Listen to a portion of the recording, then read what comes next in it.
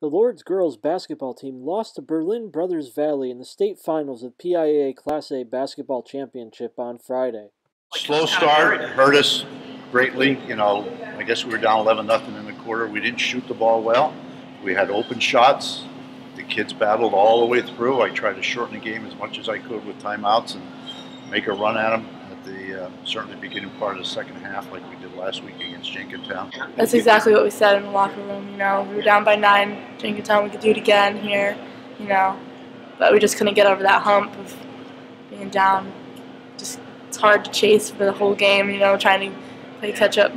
This has been my favorite year with these girls. It's been absolutely amazing. I couldn't, I could not ask for a better year to finish off my career.